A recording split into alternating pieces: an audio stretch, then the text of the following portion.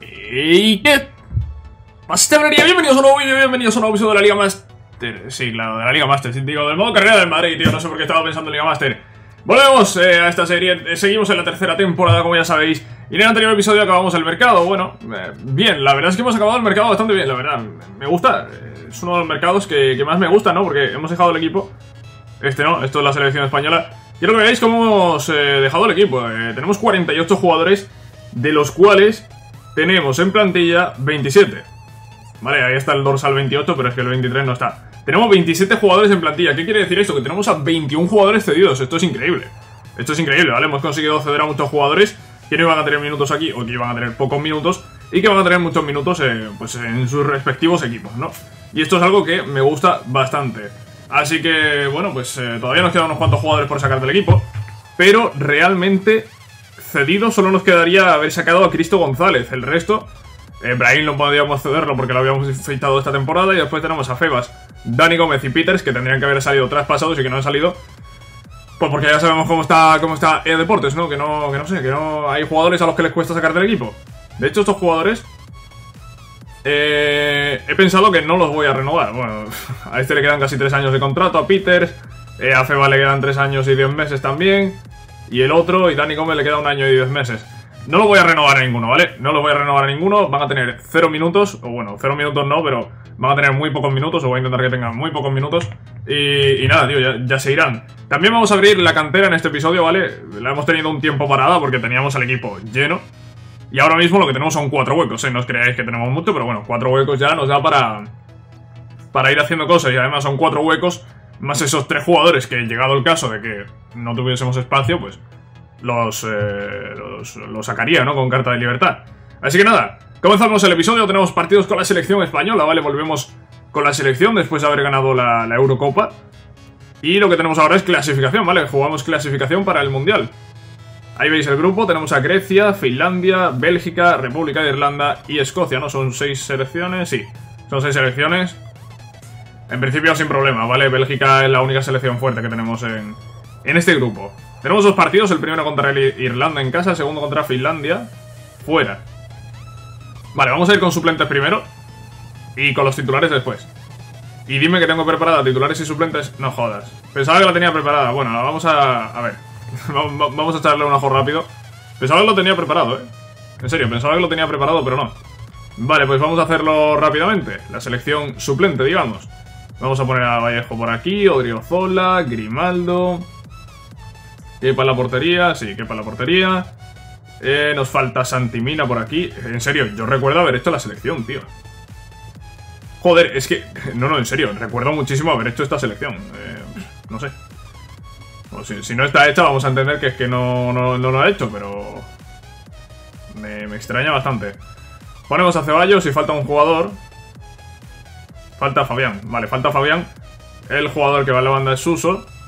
¿Y quién es el que va a ser más defensivo de los tres? Yo creo que Fabián, ¿no? Vamos a poner a Fabián eh, como jugador más atrasado de los tres de centro de campo que... Hombre, son dos mediocentros y un mediocentro ofensivo, pero bueno, Ceballos y... Ceballos es también un poco ofensivo, ¿no? Quizá... Bueno, no sé, esta es la... Es que, es que además recuerdo haberla hecho ayer, eh, haberla hecho ayer. Pero bueno, no sé. Mm, no sé. no sé, en serio. Eh... Da igual, tampoco hemos tardado, mucho en hacerlo. Y ya está, vale, así se nos quedaría la, selección. Así se quedaría nuestra selección española. Vale, creo que está todo bien, todo correcto. Pues con esta formación suplente vamos a jugar contra Irlanda, este primer partido en casa, ¿vale? Un partido a priori sencillo. Y la vuelta, bueno, la vuelta, la vuelta no, el segundo partido, que es contra Finlandia. Lo jugaremos con el equipo titular, ¿vale? Para intentar sumar los 6 puntos en estos dos primeros partidos. Como he dicho, nuestro rival es, Bélgica, sin duda. Pero, pero bueno, hay más selecciones que pueden llegar a dar problemas. Iñaki Williams marca gol. Bien, bien, es un buen comienzo para Iñaki Williams. Creo que es la primera convocatoria que tiene con nosotros. Bueno, la primera de Iñaki Williams, de Santi Mina, de Fornals, de Fabián, de Vallejo, de Odriozola y muchos jugadores que están debutando ahora mismo con la selección. Al menos con nosotros, ¿vale? Al menos con nosotros. Ganando 1-0 con ese gol de Iñaki Williams, pero nada, victoria por 1-0. Eh, justito, ¿eh? Nos hemos quedado bastante justitos. Que Finlandia no es aquí una primera potencia mundial. Vale, aquí tenemos estos jugadores entrenando. Perfecto. Perfecto. Realmente nos hemos quedado sin reservas. ¿vale? Ahora mismo los únicos reservas son Cristo y Ibrahim Díaz. A los que hay que sumarle, evidentemente, a los tres que no han salido, ¿no? Pero... Eh, reservas de verdad del equipo que vayamos a poder utilizar en un futuro. Solo están esos tres, ¿vale? Solo están... Bueno, Cristo, Ibrahim... Bueno, Cristo y Ibrahim. Solo están esos dos. Más los que podemos subir del filial ahora. Isco falla un penalti minuto 3 de partido. Claro que sí, Isco, crack. Perfecto. Bélgica ganando a la República de Irlanda y nosotros fallando un penalti contra Finlandia. Y encima con un partido fuera que, que puede dar problemas. Marca Ring. Es que, es que, es que, es que. Isco, de verdad. Isco ha fallado un penalti. Finlandia ha marcado. No, por favor, que no nos gane el fin. Gracias, Suso. Gracias. Por lo menos no perdemos contra Finlandia. Pero si Isco hubiese marcado el penalti, habríamos ganado el partido. ¿Qué pasa? Que Isco ha fallado. Y que nos vamos con, con un empate. Con un empate. El empate es malo. El empate es malo, evidentemente. Pero ya sabemos que siempre hay problemas cuando se juega fuera de casa. Bueno, aquí. Bueno, bueno, bueno. Menudo taco que nos pone aquí, ¿no? Sí, sí, que... Que sí, que se vaya, que adiós, tío, que adiós, adiós, tío. Pero es que esto de pagar la cláusula de Dani Gómez lo han hecho ya 20 veces y nunca se ha ido. ¿Qué partido vamos a jugar hoy? Que no he comentado. Sinceramente no sé qué partido vamos a jugar hoy. Podríamos jugar... Podríamos jugar este contra el Rayo justo antes de enfrentarnos al Atlético de Madrid. Ya veis que tenemos un calendario aquí un poco complicado, ¿no? El Barça, el Atlético... Calendario interesante el que tenemos. Jugamos contra el Leganés, después del Leganés el Basilea en Champions. Joder. Joder, vaya calendario. Vamos con los suplentes contra el Leganés.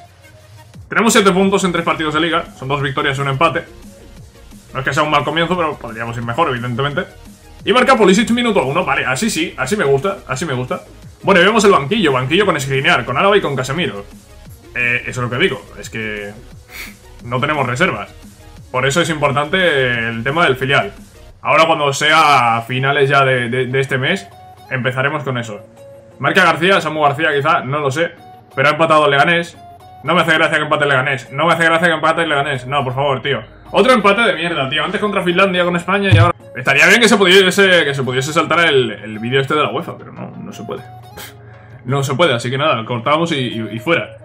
Solucionado. Eh, no pongo el vídeo porque ya me salto copyright una vez, ¿vale? es por eso, simplemente. Venga, el entrenamiento ahí para nada porque los jugadores les está costando subir. Y aquí dice Asensio, mis minutos de juego. Asensio, vas a jugar contra Basilea. Cállate un poco, anda. Vas a jugar contra Basilea y vas a jugar contra el Barça. Va a jugar martes y va a jugar sábado. ¿Cómo van a llegar los jugadores al partido del Barça? No lo sé, pero evidentemente no vamos a ir con suplentes contra la Basilea de la Champions, como comprenderéis. Y además en el primer partido. Pues no, pues no vamos a ir con suplentes, y menos fuera de casa, ¿no? Contra Basilea. El grupo ya lo veis ahí, Salke, Dinamo de Kiev y Basilea, es un grupo bastante sencillo. El Basilea, por lo que veo, ha tenido que jugar la previa. Y nada, sin más, vamos al primer partido de esta Champions, esta fase de grupos contra el Basilea, fuera de casa, gol de Ageti. ¿Qué, ¿Qué, os cuento yo de Ageti? Empata Kane. Empata Harry Kane, ahí está. Crinear lesionado en el 45, joder. No tenemos reservas. Marca Zufi, ¿qué le pasa al Basilea? El Basilea es el mejor equipo del mundo ahora. Oye, oye, lo de hoy, lo de hoy no, eh. Lo de hoy me está tocando. No, lo de hoy me está tocando los huevos, tío. Lo de hoy me está tocando los huevos, tío. Finlandia ya nos saca con empate, el Leganés nos saca con empate y el Basilea nos gana. Eh, tres partidos seguidos fuera y tres partidos con, malos resultados los tres, tío. En serio, ea, para ya, en serio. Y encima Skriniar lesionado, ¿cuánto? Dos meses. Joder, eh, ¿cómo estamos, eh? Hoy estamos, hoy estamos calentitos, eh. Ea Deportes EA Sports está hoy... Está hoy con ganas de joder, está hoy con bastante ganas de joder. Vamos a poner a Vallejo. Y ya está, y vamos a poner a Vallejo y ya está. Voy a poner a Upamecano aquí. Y ahora mismo nos hace falta un central. ¿Tenemos un central en el filial? No lo sé, creo que no. Eh, si, no si no tenemos un central en el filial, ¿qué vamos a hacer? Pues Vallejo tendrá que jugar 20 partidos. Eh, no sé qué estoy mirando. Eh, resistencia de Vallejo, 66. No, es que, joder, y Upamecano 62. encima tienen resistencia nuestros centrales, ¿eh? Encima tienen resistencia nuestros centrales. Eh, opciones para sustituir a, mm, a. Eh, Llorente de central. Llorente de central y meter a, a Febas. O meter a Brian Díaz, o meter a alguien. De momento vamos a dejarlo así, de momento vamos a dejarlo así. ¿Qué tenemos en el filial? ¿Tenemos algo? ¿Hay algo en el filial que nos pueda solucionar esto? Tenemos un lateral, Isidoro Villalba. Eh, voy a subir a, Isidoro Villalba, ¿por qué? Porque lo voy a acabar subiendo. Y como lo voy a acabar subiendo en algún momento, pues, pues, pues mejor lo subo ya y, comprobamos si puede jugar de central. Venga, puede jugar de central, madre mía. Qué suerte tenemos, ¿no? Acabamos de tener suerte con esto. Y ya está, con esto, con esto. Solo hemos tenido suerte con esto. Vale, pues ya está. Pues eh, Villalba pues tendrá que jugar de central aquí por Vallejo. Eso sí, Vallejo estará en el banquillo y Vallejo pues puede ser que juegue algún partido. Pero es que ya no podemos hacer más. Bueno, igual que Vallejo está Courtois, está Álava y está Casemiro, ¿sabes? Que, que no es Vallejo el único que va a estar en el banquillo. Pues nada, Isidoro Villalba que va a estar ahí en, de central. Y, ya empezamos con los problemas, ¿no? Acaba de empezar la temporada, llevamos ahora mismo tres partidos seguidos sin ganar, uno con la selección, dos con el Madrid, dos empates fuera y una derrota. Todo fuera. Y ahora partido contra el Barça. Espero que esto sea en casa, esto debe ser en casa. Interrupción del traspaso de Dani Gómez, vaya, no me lo esperaba. Y partido contra el Barça. Juega Vallejo de central, jugamos con nuestro equipo titular, venimos de tres partidos sin ganar. Y esto es un partido en casa. Vamos a ganar, ¿no? Oye, digo yo, ¿en casa vamos a ganar o qué? Marca Mbappé. Marca Mbappé, tarjeta amarilla para Ramos. Empata Malcolm. Empata Malcolm. Empata Malcolm, está jugando Cross, está jugando Ramos. Se lesiona Cross, le saca amarilla a Ramos. Se cambian a Cross, marca Isco. ¿Vamos a ganar? ¿Sí? Coutinho empata, no me lo creo, tío. Oye, lo de hoy, lo de hoy ya, lo de hoy es, ese coña. Lo de hoy es de coña, en serio. Lo de hoy es de coña. Cuatro partidos seguidos sin ganar. Cuatro, cuatro partidos seguidos sin ganar. Cuatro partidos seguidos sin ganar. Acabamos de empatar contra Barça en casa. Eh, no sé, no sé, no sé, en serio. No, no sé. No sé, no sé, tenemos tres mensajes, a ver. de prensa, interrupción, no sé qué. No, no, son mensajes que aporten nada, la verdad. No, se lo pueden ahorrar. Jugamos contra el Rayo. Y vamos a ganar este partido al Rayo porque lo voy a jugar, ¿eh? Yo, yo no sé qué pasaría si no, si no jugas este partido, la verdad. Porque es otro partido fuera. Es otro partido fuera. Es que llevamos cuatro partidos sin ganar. Pero es que este partido fuera y tampoco lo, lo, ganaríamos, yo creo, en una simulación, ¿no? Lo vamos a ganar porque lo voy a jugar. Vamos a jugar con los suplentes, ¿vale? Y, nada, después contra el Atlético volverá el equipo titular y, veremos qué podemos hacer, ¿no? Después también tenemos más Champions. No estamos en una buena situación. Y acabamos de desaprovechar una oportunidad de ganar al Barça en casa. Que todavía nos queda un partido contra el Barça en, el Camp Nou, ¿no? en fin, vamos a ver... Es que de aquí que no, no puedo cambiar nada, así que no tenemos jugadores para cambiar. Nos hemos quedado sin reservas, ¿eh? El hecho de quedarnos sin reservas al final nos va, nos va a salir caro, tío. Tenemos que activar ya el filial, estamos a 23 de septiembre. En cuanto acabe este partido, si me acuerdo, eh, abriremos ya... Activaremos de nuevo el filial. Y necesitamos ahora mismo jugadores reservas en condiciones para, para sustituir, por ejemplo, a Skriniar. Vamos al partido del Rayo. Vamos a sumar nuestra primera victoria del episodio, si puede ser. Aquí estamos en el estadio del Rayo, eh, estadio de mentira, vale, no es el estadio oficial, es uno de esos pocos equipos que no tiene estadio oficial, porque es uno de los que ha subido de segunda. Y nada, sin más, vamos a enfrentarnos al Rayo y vamos a ganar al Rayo, si puede ser. Toma, time finishing verde ahí de Teo Hernández, ha caído un rebote y he dicho, vamos a intentarlo. Y oye, con el time finishing verde este que da todo el asco, marca Teo Hernández el primer gol. Buena jugada elaborada, tío. Hemos estado ahí un rato con el balón hasta que el balón le ha llegado. Driozolar la banda ha puesto el centro y Marcos Sorente entrando desde atrás ha marcado el segundo gol. Estamos jugando en el minuto 50, no me preguntéis por qué no ha pitado, la verdad. Ahí pita al final, oye, le, ha costado, ¿eh? Le ha costado pitar el final de la primera parte, tío. 5 minutos, casi 6 de descuento. En fin, ahí veis el resultado 0-2, la verdad, un partido bastante cómodo de momento. Y vamos a intentar marcar algún gol más en la segunda parte. Hombre, ahí está el gol de Aguar que marca el tercero. No sé si es su primer gol, la verdad, pero bueno, ahí está el tío.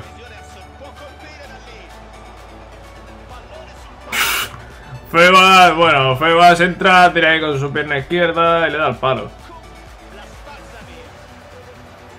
¡Qué bueno, Cristo! Fuera de juego. Fuera de juego, tío, fuera de juego porque ha salido el portero. Si no, habría sido el primer gol de Brahim Díaz, tío, con el Madrid.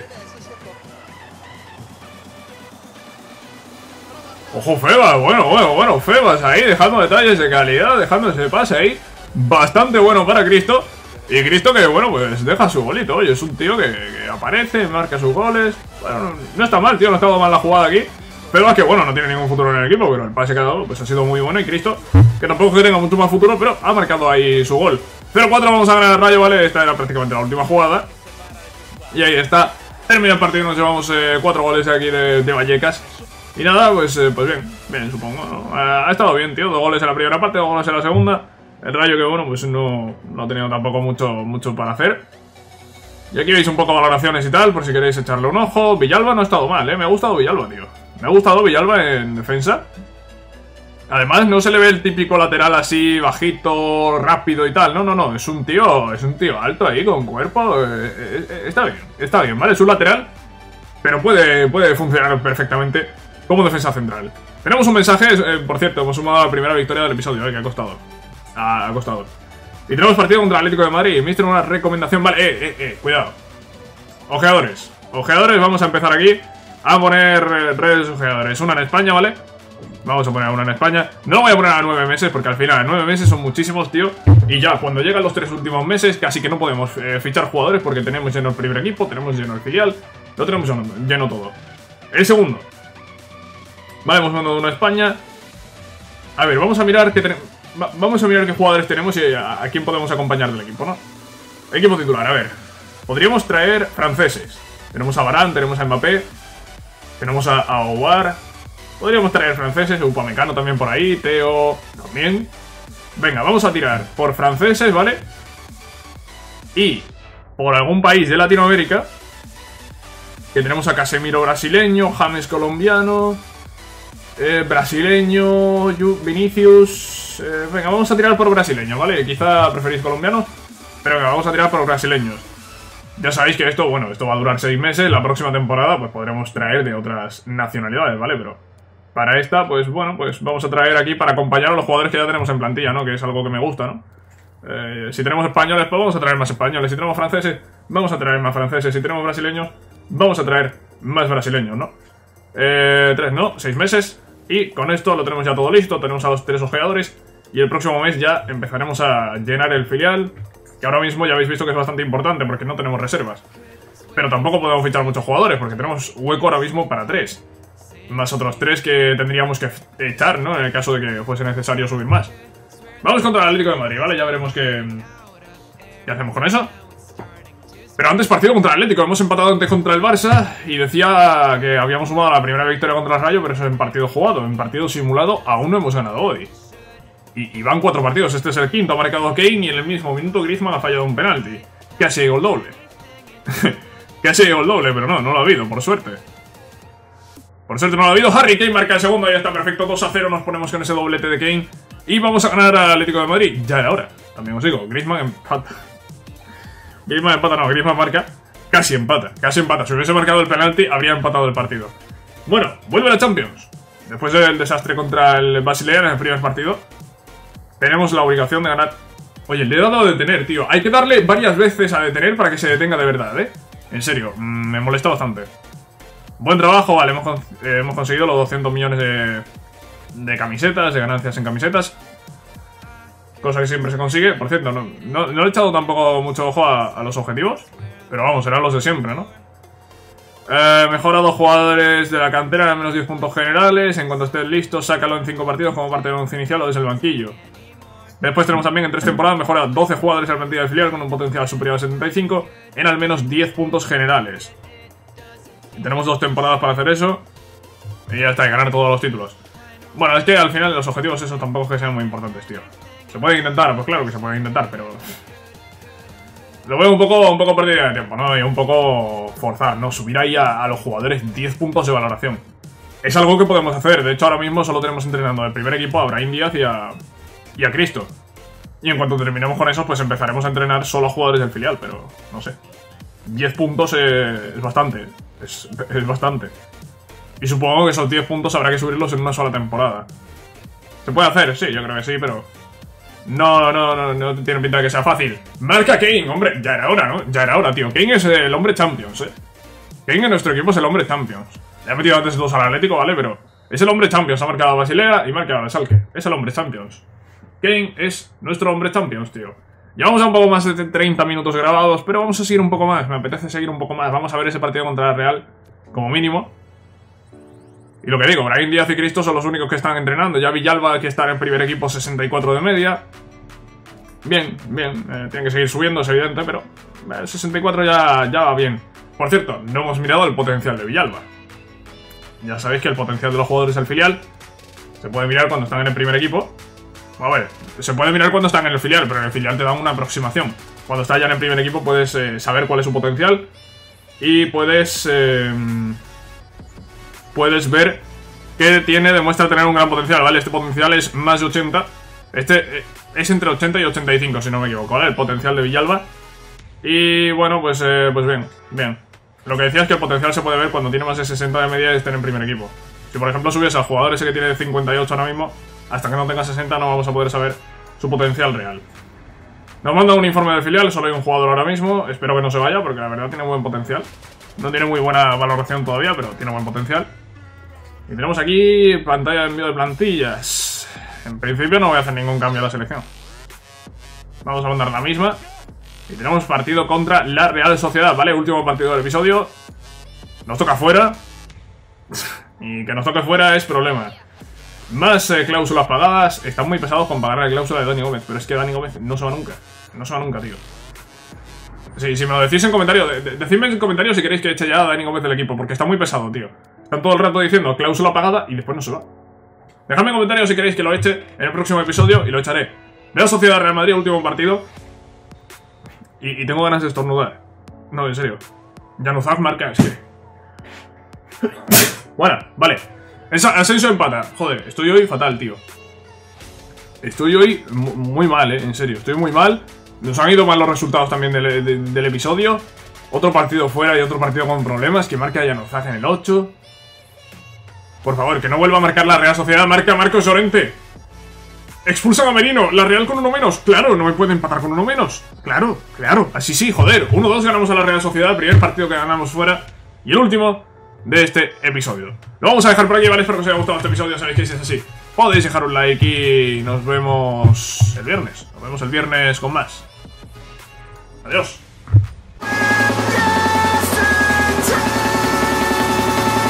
para, para.